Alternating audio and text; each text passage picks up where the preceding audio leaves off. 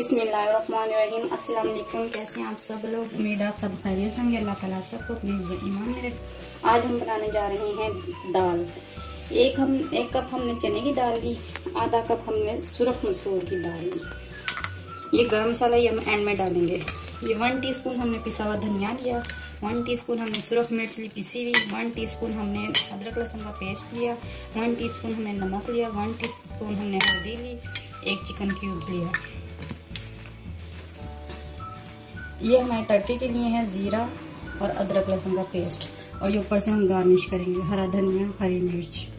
ये हम डाल देंगे। ये हमने ज़्यादा देर नहीं भिगोई थी, अभी भिगोई है। धो के अभी अभी पानी डाल के रखा है। ये सारे मसाले डाल देंगे।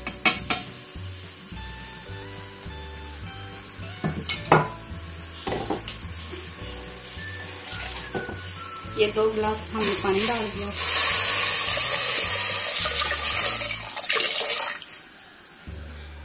ये हम कुकर को ढक्कन लगा के 10 मिनट के लिए रख देंगे। फिर आपको दिखाते हैं। आए हम कुकर खोल के देखते हैं, हमारी दाल बन गई है गल गई है जी, दाल हमारी बिल्कुल तैयार है।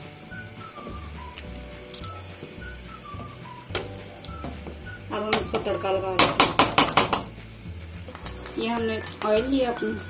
तकरीबन चार पाँच चम्मच।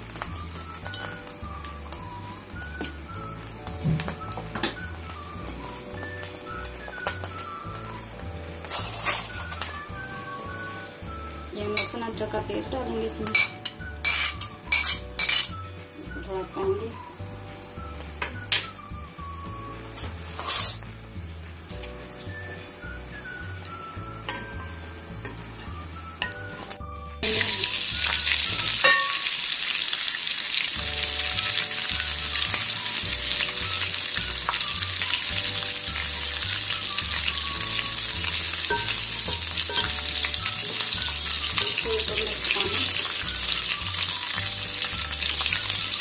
हम ये अपनी दाल में डालेंगे।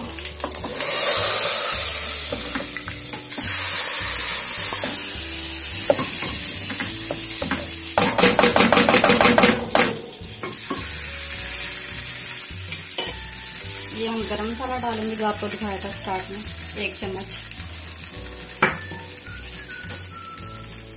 थोड़ा धनिया इसमें डालेंगे, गार्निश के लिए। थोड़ी हरी मिर्च डालेंगे। अब आपको डिश आउट करके दिखाते हैं। ये हमारी दाल अब तैयार है। आप प्लीज़ ट्राई करें और बताएँ हमें आप, आपको हमारी दाल कैसी लगी। और ये हमारे राइस हम तो राइस के साथ खाएँगे। ये हमारी सैलड है अचार है। आप हमें बताइएगा आपको हमारी रेसिपी कैसी लगी। प्लीज़ लाइक किया करें शेयर किया करें। अल्लाह हाफिज़ मिलते हैं नेक्स्ट वीडियो में। इनशाला